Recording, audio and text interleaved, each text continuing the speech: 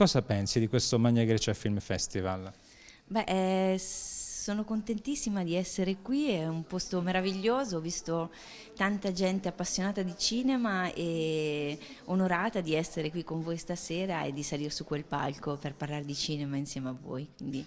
Di che cosa parleremo stasera sul palco? Parlerò di l'ultimo mio film che si chiama Un bacio con la regia di Ivan Cotroneo al quale sono molto affezionata perché parla di bullismo e di giovani ed è un argomento a cui bisogna fare molta bisogna raccontarlo molto quel mondo, quindi sono molto onorata di essere in quel film.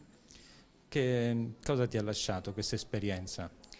Beh, io sono mamma di un bambino di sette anni con Dino Brescia che è l'attore con cui insomma, ho, ho, lavorato e mi sono innamorata di lui e quindi abbiamo un bambino di sette anni e so benissimo che quindi cosa Nino, vuol dire. Nino Brescia è tuo marito? Sì, ah, sono non proprio... ancora sposato, ecco, siamo un po' chiari. Però avete un, bambino, avete un, bambino, assieme. Abbiamo un bambino di sette anni. Non e... si finisce mai di conoscere il mondo del cinema, avrei dovuto studiare un po' di Noi più. Noi non siamo molto una coppia da gossip. Sì, però siete una bella coppia, vi somigliate pure un po', devo sì, dire. È vero, è vero quindi siamo un po' poco noti per quanto riguarda i nostri rapporti. Quindi questo, questo film comunque l'hai sentito L'ho sentito molto come madre innanzitutto e soprattutto eh, per quanto riguarda il bullismo e quello che i ragazzi vivono anche nei rapporti tra di loro, nella scuola, Facebook e quindi l'ho, l'ho vissuto in maniera molto personale anche.